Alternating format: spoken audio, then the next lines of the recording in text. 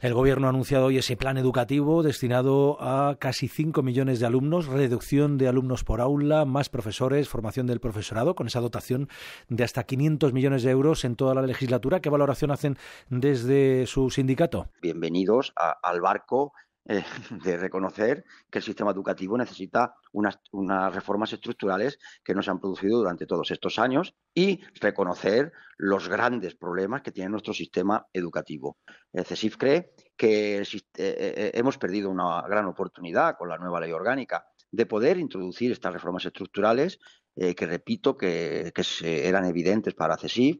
y que entre ellos estaba el bajo nivel educativo que todos los informes nos daban, el fracaso escolar, el paro juvenil y todas estas cuestiones que venimos denunciando desde hace años. Nosotros, evidentemente, eh, llevamos pidiendo durante mucho tiempo, y yo creo que la comunidad educativa casi en su totalidad pediría una reducción de ratios, pero no creemos que sea una reducción de ratios para lengua y matemáticas, sino una reforma estructural de la, rebaja, de la reducción de ratios y, por tanto, esperamos que así sea. Eh, como decimos, en la ley orgánica se podría haber puesto ya esta reducción de forma orgánica, en ley orgánica, y tener de obligado cumplimiento.